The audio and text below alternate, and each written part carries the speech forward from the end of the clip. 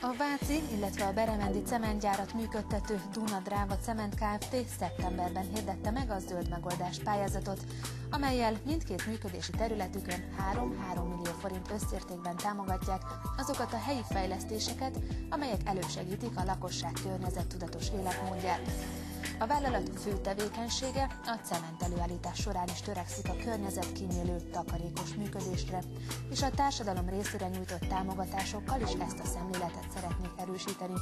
Éppen ezért új pályázati programjuk fókuszában is a környezetvédelem áll.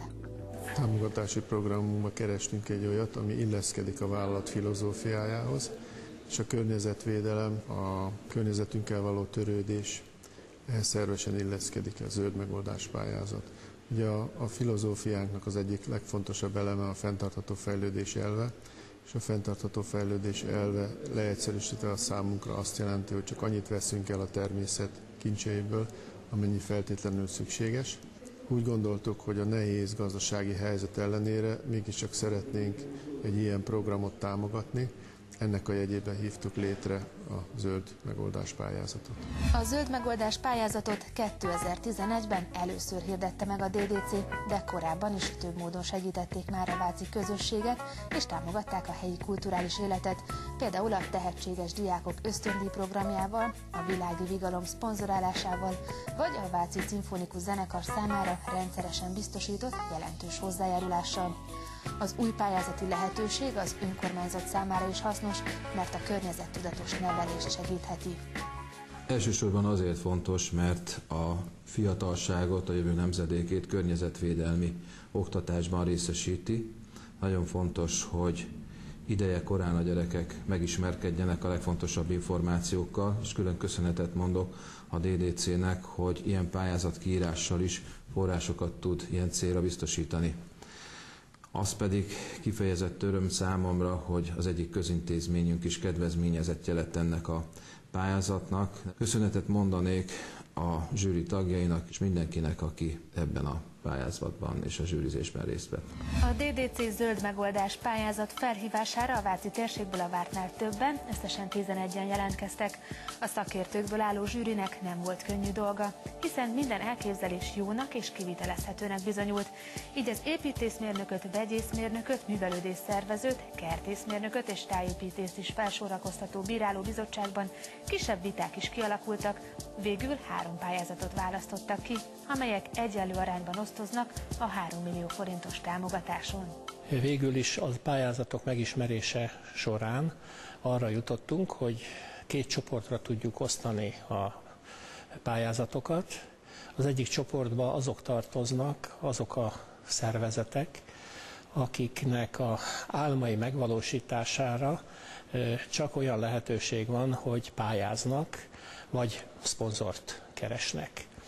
A másik csoportba tartoznak azok, akiknek tulajdonképpen van gazdájuk, van tulajdonosuk, de természetesen ők is a álmaikat szeretnék megvalósítani. De hát amikor három pályamű a korlát, akkor fájdalmas döntést kell hozni, és hát ez fájdalmas azok számára, akik a háromból kimaradnak, és örömteli azoknak, akik bent maradtak.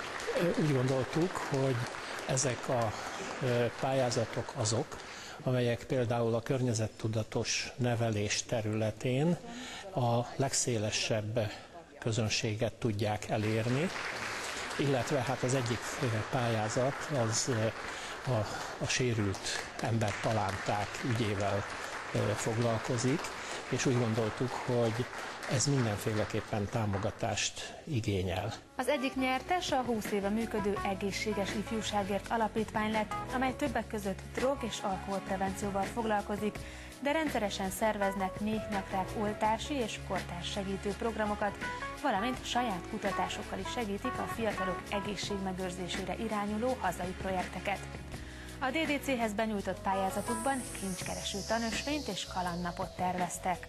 Nem mondhatjuk azt, hogy drogmegelőzés, természetvédelem, egészségvédelem, mert az emberek nem ezt akarják. Az emberek kincset akarnak keresni, kincset akarnak találni, valami olyat, amilyet senki más nem talál. Ehhez szeretnénk mi őket elkalózolni a Nasszájhegyre, csinálni egy olyan tanösvényt, a kincs, kincskereső tanösvényt, ahol a Nasszájhegyen való barangolás közben megismerhetik mindazt, amit tanítani szeretnénk velük. Megismerhetik a természetet, a Nasszájhegy ásványait, a Nasszájhegy ásványaihoz fűződő történeteket, sztorikat, azokat az építményeket, amit azokból építették. Ez egy komplett tanúsvény lesz, amit szeretnénk egy rendezvényel prezentálni. A puding próbája, hogy megeszik, a mi pudingunknak a próbája az lesz, hogy a Vác és a Nasszály körül élő gyerekeket, iskolákat felkérjük egy pályázatra. A pályázatban a gyerekek bejuthatnak a versenyre, és ez egy egész napos kincskeresés lesz, ahol gyerekek látástól, amíg a nap lemen megy, átkelnek a Naszály hegyen, hogy sok mindent megfigyelnek, sok mindent megkutatnak, összemérik erejüket, és egészségesen elfáradnak. A friss, mindössze egy éve működő Naszáért alapítvány és a Vác környéki erdőket célozta meg pályázatával. Az erdészeti szakemberek igazán modern újítást szeretnének megvalósítani az 1 millió forintos támogatásból. Olyan oszlopokat helyeznek ki a meglévő tanösvények mentén, amelyek az úgynevezett QR kód formájában adnak tájékoztatást a kirándulóknak. A Naszályhegyre irányuló két pályamunkának több közös pontja is volt, ezért a zsűri kérésére a két alapítvány együttműködik majd terveik megvalósításakor, és a megvalósult fejlesztések átadására is egy közös rendezvényen kerül majd sor, várhatóan május 20-án.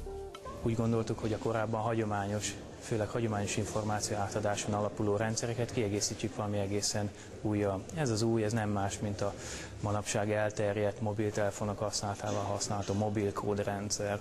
Azt láttuk ki, hogy 40 pontot, 40 kultúrtörténeti szempontból fontos helyszínt fogunk megjelölni egy-egy ilyen mobil kóddal, amit a látogatók, kirándulók GPS készülékükkel felkeresve, mobiltelefonjukkal leolvasva bővebb információhoz tudnak jutni.